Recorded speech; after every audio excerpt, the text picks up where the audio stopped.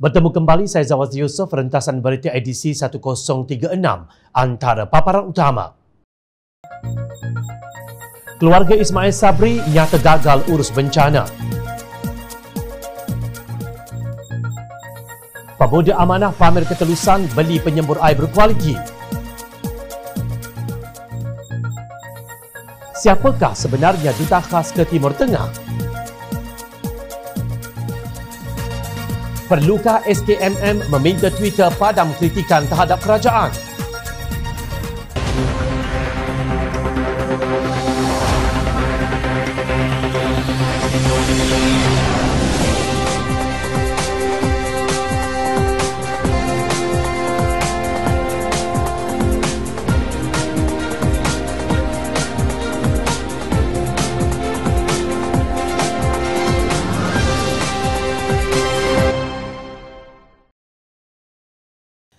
Assalamualaikum dan salam sejahtera. Kerajaan Perikatan Nasional pimpinan Tan Sri Mahyadin Mat Yassin didakwa gagal dalam tempoh pemerintahannya selama 17 bulan 16 hari. Tiada langsung peningkatan dalam negara kecuali bilangan jangkitan pandemik COVID-19 yang setiap hari meningkat sehingga kelima angka. Ekonomi merudum, syarikat besar tutup operasi. Malaysia tidak lagi menjadi pilihan pelabur. Pengangguran meningkat dan pertumbuhan ekonomi semakin mengecut seluruh kabinetnya yang bersaiz XXXL dengan 32 menteri serta 38 timbalan menteri berasaskan Scheme of Things gagal. Tampil pula Kerajaan UMNO Barisan Nasional pimpinan Datuk Seri Ismail Sabri Yaakob dengan Kabinet Keluarga Malaysia. Kerajaan Ismail Sabri digelar Kabinet Keluarga 69 kerana mengekalkan hampir kesemua menteri dan timbalan menteri yang gagal di era pentadbiran Perikatan Nasional. Namun setelah 100 hari beliau mendabit dada, kononnya mencapai petunjuk prestasi utama KPI 90 per 100 walaupun di luar kabinetnya kita tidak tahu apa indikator yang digunakan tiba-tiba Taufan Rai menyerang negara Banjir berlaku di beberapa buah negeri yang paling teruk di Selangor dan juga Pahang. Kerajaan Ismail Sabri yang baru saja meraihkan 100 hari kejayaan yang meragukan itu menjadi kucar kacir. Ia dikecam kerana tidak adanya koordinasi dalam menguruskan bantuan kepada mangsa yang terjejas teruk sehingga agensi yang terlibat termasuk Jabatan Bomber dan Penyelamat Malaysia serta Angkatan Tentera Malaysia lewat bertindak. Pengerusi Pakatan Harapan Datuk Seri Abdul Ibrahim berkata pengagihan bantuan yang dibuat secara tidak teratur dan kelam kabur itu menimbulkan rasa kecewa serta tidak puas hati dalam kalangan mangsa. Sebab itu saya katakan harus ada suruhan jaya untuk meneliti semula seluruh dasar peranan dan tindakan yang diambil supaya kita tidak berulang kegagalan dalam hal ini ujarnya dalam satu kenyataan. Bila mengimbas kembali ketika berlaku banjir pada tahun 1995 beliau yang menjadi pengerusi untuk mengendalikan bencana sebagai timbalan Perdana Menteri memanggil mesyuarat khas kabinet pada malam itu juga. Malam itu buat keputusan. Malam itu kerah tentera. Turun malam itu juga. Bagi berapa jam tentera boleh lakukan kata Anwar. Menurut ahli parlimen Port Dickson itu kerajaan persekutuan yang dipimpin Ismail Sabri tidak mengambil tindakan sehari dua hari dan kemudian tidak ada pengarahan yang jelas kelewatan bantuan dari Jabatan Bomber dan Penyelamat Malaysia dan Angkatan Tentera Malaysia sebenarnya adalah berpunca daripada kepimpinan di peringkat atasan yang tidak membuat keputusan segera. Pada Selasa, Ismail Sabri mengakui terdapat kelemahan dalam pengurusan bencana banjir terutamanya di negeri Selangor. Menurut beliau, tanggungjawab pengurusan bencana banjir tidak hanya terletak di bahu kerajaan persekutuan. Sebaliknya, kerajaan negeri dan petugas di peringkat daerah turut memainkan peranan. Kenyataan dangkal Ismail Sabri ini seolah-olah mahu menyalahkan kerajaan negeri sedangkan agensi pengurusan bencana negara NATMA yang di bawah kuasa Menteri-Menteri Tugas-Tugas Khas Datuk Dr. Abdul Latif berada di dalam Jabatan Perdana Menteri. Abdul Latif menafikan pihaknya tidak terlibat secara langsung dalam urusan kejadian bencana alam dan hanya menguruskan pampasan. Kononnya media yang tersalah petik. Namun hakikatnya Angkatan Tentera Malaysia ATM dikatakan bertindak bagi membantu mangsa banjir tanpa menunggu arahan NAKMA. Malah difahamkan Nakma hanya bermesyuarat pada 21 Disember setelah kerja-kerja menyelamat mangsa banjir dilakukan oleh pihak NGO, orang perseorangan dan wakil rakyat Pakatan Harapan serta pasukan mereka terlebih dahulu. Kononnya, jika berlaku banjir di peringkat negeri, kerajaan negeri melalui Institusi Kerajaan Negeri yang akan mempengerusikan mesyuarat jawatan kuasa pengurusan bencana negara JPBN negeri dan mengambil alih semua agensi yang terbabit untuk menanganinya. Situasi ini lagi pelik. Menteri Besar jadi tunggul ke? Adakah setiausaha kerajaan negeri ada kuasa untuk memanggil Angkatan Tentera Malaysia yang harus mendapat arahan daripada NAKMA? Keputusan ini mungkin ada kaitan dengan jawatan pengerusi Majlis Keselamatan Negara. Bagi Selangor kini dipegang oleh pengerusi Perhubungan UMNO Negeri Selangor, Tan Sri Noh Omar, bukan Menteri Besar Selangor, Datuk Seri Amiruddin Syari. Pencapaian 90% yang diumumkan oleh Ismail Sabri itu amat meragukan umpama lelucon. Ia dilihat sekadar mahu menutup segala kegagalan yang dilakukan oleh para menteri dan timbalan Menteri Kerajaan Keluarga 69 ini dalam melaksanakan amanah yang dipertanggungjawabkan kepada mereka. Apabila bencana benar-benar berlaku, keluarga kebanggaan Perdana Menteri ini benar-benar gagal 100%. Baru-baru ini pemuda amanah dikritik netizens kerana didakwa membeli penyembuh air dengan harga yang mahal. Penyembuh air tersebut bakal digunakan untuk membersihkan kawasan kediaman yang mengalami kerosakan akibat banjir besar yang bermula pada 18 Disember lalu. Menurut pengkritik, penyembuh air boleh dibeli dengan harga sekitar RM200 sahaja dan bukannya RM1,000 seperti yang tertulis di dalam poster kutipan derma yang dilancarkan oleh pemuda amanah. Bagaimanapun sayap parti amanah tersebut mempertahankan tindakan mereka berdasarkan pengalaman melakukan kerja-kerja membersihkan lumpur banjir menggunakan penyembur air murah yang berkuasa rendah tidak berkesan. Petang semalam, Pemuda Amanah mengumumkan perkembangan hasil kutipan sumbangan orang ramai dalam usaha membeli penyembur air berkuasa tinggi, heavy duty yang berkualiti bagi tujuan membersihkan rumah mangsa banjir. Menerusi perkongsian di laman rasmi Facebook Pemuda Amanah, kutipan untuk membeli alat penyembur air mencecah RM9,591.80 setakat jam 5 petang 23 Disember. Beli 9 water jet total RM7,092 baki RM2,499.80 kata kenyataan tersebut. Laman Facebook tersebut memuat naik imej penyembur air dan resip pembelian peralatan terbabit. Malam tadi juga telah edar ke beberapa tempat sekitar Hulu Langat, Puchong, Shah Alam, Kota Raja, Sepang dan juga Kuala Langat. Ni pun sejak pukul 8 tadi masih rancak masuk. Di sana rancak, di sini rancak, mana-mana rancak pahala. InsyaAllah esok kami update lagi kata kenyataan di laman itu. Maksudnya masih ada lagi sumbangan orang ramai kepada pemuda amanah untuk membeli penyembur air yang amat diperlukan itu. Terdahulu, mengulas kritikan tersebut Ketua Pemuda Amanah Nasional Hasbi Muda berkata, beliau berlapang dada apabila orang ramai membincangkan hasrat pihaknya untuk membeli peralatan itu. Sekurang-kurangnya ramai mula sedar dan faham beza antara water jet yang berharga RM200 dengan yang berharga RM1,000 dan ke atas. Bagi yang biasa dengan kerja-kerja pembersihan pasca banjir, mereka mudah faham. Apapun terima kasih kepada yang kritik itu juga satu bentuk check and balance kepada pemuda amanah ujarnya dalam hantaran di Facebook. Hasbi berkata pemuda amanah nasional adalah sayap parti yang cukup teliti dan telus dalam bab tata cara keuangan. Setiap sen yang dibelanjakan kami soal dalam mesyuarat jawatan kuasa pimpinan pemuda amanah nasional. Setiap pembelian dan pembayaran mesti ada resit dan juga voucher. Bagi yang ragu-ragu untuk sumbang dana, bagi water jet terus pun boleh. Yang penting kita sama-sama menyumbang untuk membantu masa banjir katanya. Dalam hantaran terbaru, Hasbi berkata kalau dapat lebih murah lebih baik. Tapi mesti yang berkualiti dan tahan lasak. Mudah untuk seleweng kalau kutip guna akaun peribadi. Ini akaun rasmi sayap parti yang 46 orang ahli jawatan kuasa boleh persoal tegasnya. Menurut beliau, penyumbang tidak diwajibkan menderma RM1,000. Derma RM10 pun diterima. Apabila kami dapat berjumpa dengan yang berharga RM950 dan RM750, dipersoalkan lagi kenapa lebih murah dan bukan RM1,000. Layan puak ni tak jadi kerja kita. Baik teruskan kerja-kerja pembersihan atau tidur lebih baik sindirnya. Demikian sikap orang awam yang begitu lama terdedah dengan tindak tanduk gerombolan penyangak. Mereka anggap orang lain sama seperti penyangak yang biasa mereka kenali. Orang yang buruk sangka seumpama memfitnah orang kerana buruk sangkanya tidak mempunyai bukti yang kukuh. Perbuatan ini dikhawatiri menjadi punca fitnah sedangkan Islam sangat melarang umatnya memfitnah orang lain.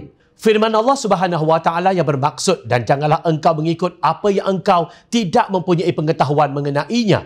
Sesungguhnya pendengaran dan penglihatan serta hati semua anggota-anggota itu tetap akan ditanya di akhirat tentang apa yang dilakukannya. Surah Al-Isra ayat 36. Pemuda amanah melakukan kerja tanpa majlis pelancaran atau buat sidang media di hotel mewah. Tahniah, pemuda amanah. Anda adalah benteng masa depan rakyat di negara ini. Rupa-rupanya bukan hanya timbalan Presiden PAS Datuk Seri Tuan Ibrahim Tuan Man yang tidak ada semasa negara diserang taufan ra'i sehingga terjadi banjir besar. Naib Presiden Amanah Datuk Hasanuddin Muhammad Yunus juga berada di luar negara. Sementara Tuan Ibrahim ke luar negara atas urusan peribadi iaitu menunaikan umrah di Mekah. Hasanuddin menghadiri sidang Organisation of Islamic Countries atau OIC atas kapasitinya sebagai ahli Parliamentary Friendship Group Parlimen Malaysia. Ketika ditanya wartawan berhubung kunjungannya ke Iran, Hasanuddin menegaskan beliau berada di sana untuk membawa tugas penting buat negara. Saya teruskan pertemuan dengan timbalan Presiden Iran sebab saya bawa isu supaya Iran membeli minyak sawit lebih banyak daripada Malaysia.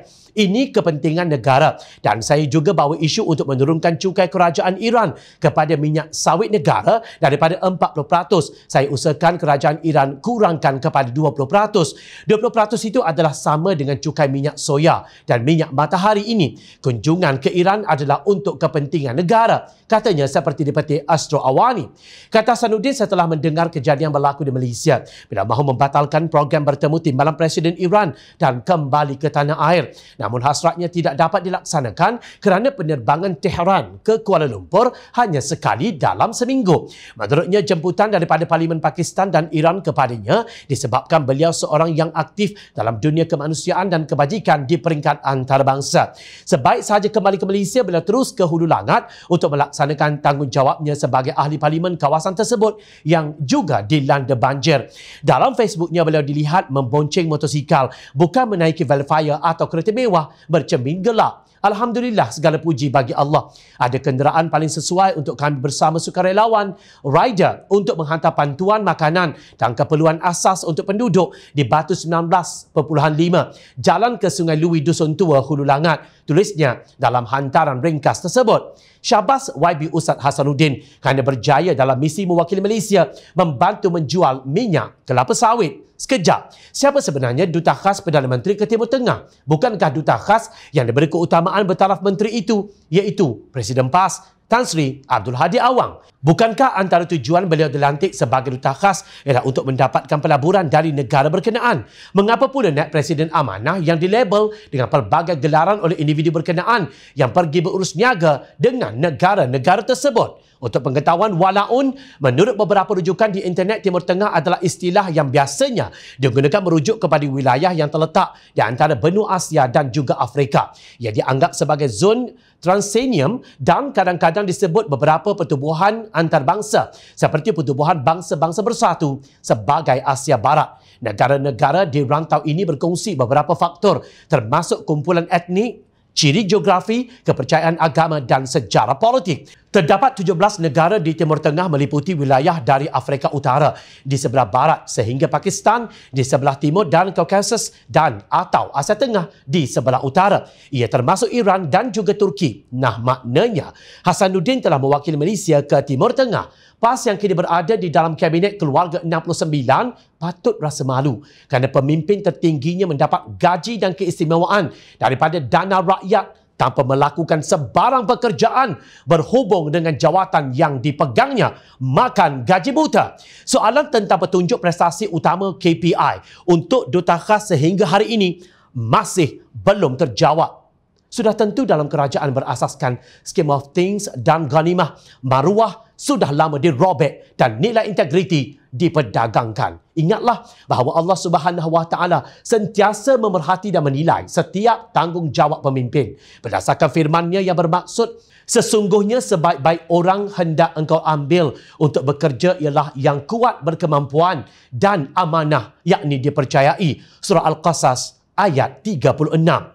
Pemimpin yang bertanggungjawab tidak menganggap dirinya lebih baik daripada orang lain ataupun meminta gelaran doktor kehormat mahupun kemuliaan seperti Datuk Seri atau Tan Sri dan sebagainya untuk dimegahkan. Jika benar-benar mahu selamat di dunia dan akhirat, sewajarnya kita mencontohi kepimpinan Rasulullah sallallahu alaihi wasallam yang tidak pernah menjadikan kapasitinya sebagai seorang pemimpin untuk mengaut keuntungan bagi diri dan keluarga. Baginda sudah memberi ingatan. Menerusi sabdanya yang bermaksud, tak ada seorang pun pemimpin yang menguasai urusan kaum muslimin lantas tidak berusaha bersungguh-sungguh untuk kebaikan mereka dan tidak jujur kepada mereka, melainkan dia tidak akan masuk syurga bersama mereka. Hadis riwayat Al-Bukhari. Wallahu a'lam. Nampaknya Suruhanjaya Komunikasi dan Multimedia Malaysia SKMM meminta Twitter membuang ciapan yang mengkritik cara kerajaan menangani banjir pada hujung minggu lalu.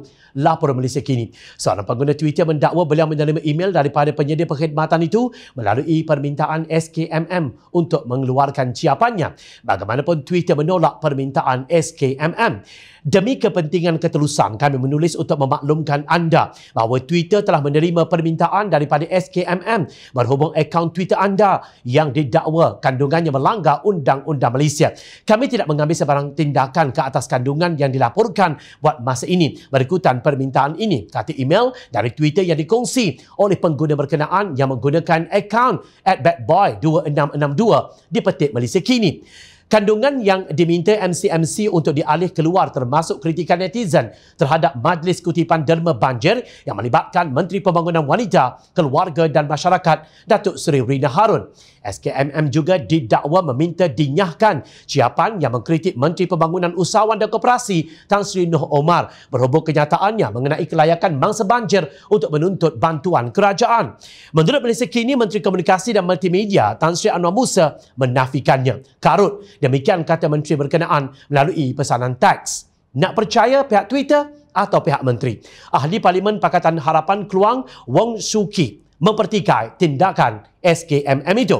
Adakah kerajaan yang diberi markah 90% oleh Perdana Menteri tidak boleh dikritik oleh warga net sekarang? Soalnya, menurut beliau permintaan SKMM itu hanya untuk menimbulkan persoalan sama ada kerajaan yang memerintah sekarang takut pada pandangan yang berbeza. Semasa bencana berlaku, ramai pengguna Twitter menularkan maklumat penting untuk menyelamatkan mangsa-mangsa banjir.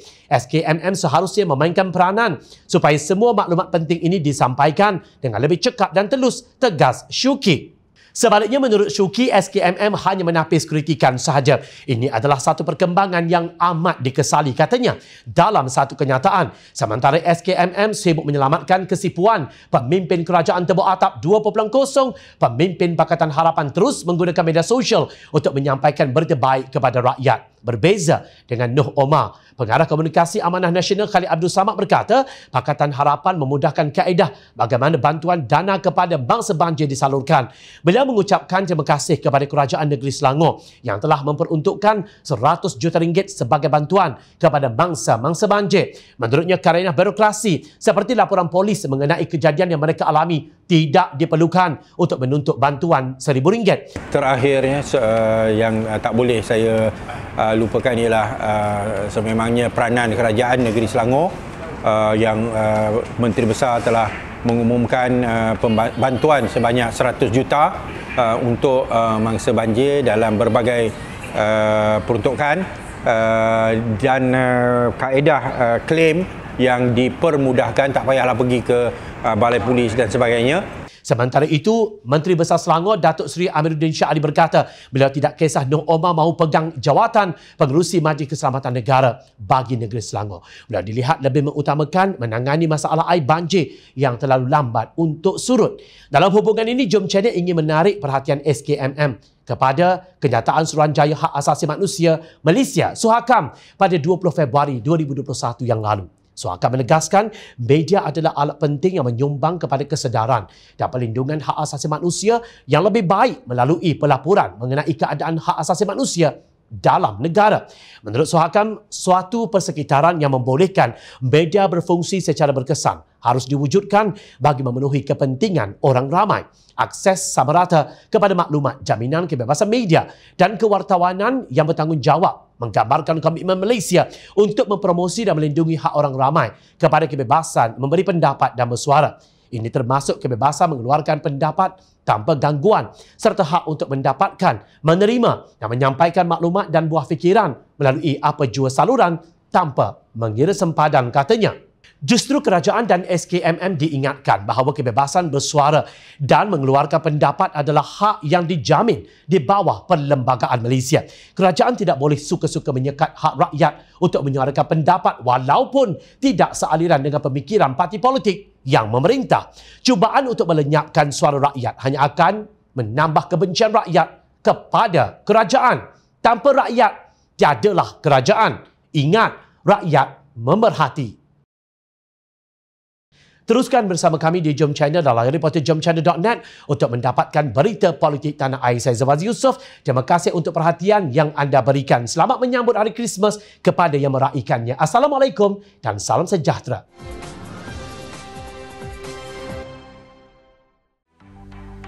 Mencari maklumat dan berita politik yang bebas. Kupasan yang tepat. Panas. Dapatkannya secara eksklusif hanya di Jom Channel. Komitmen kami, pentasan berita Isnin hingga Jumaat. Berbicara dan isu semasa, kami garapkan secara langsung. Panel-panel berkaliber dan profesional. Interaktif, pandangan anda kami raikan. Jangan lupa bersama kami di setiap hujung minggu dalam edisi khas mingguan. Jom Channel, moving forward, sharing a new experience.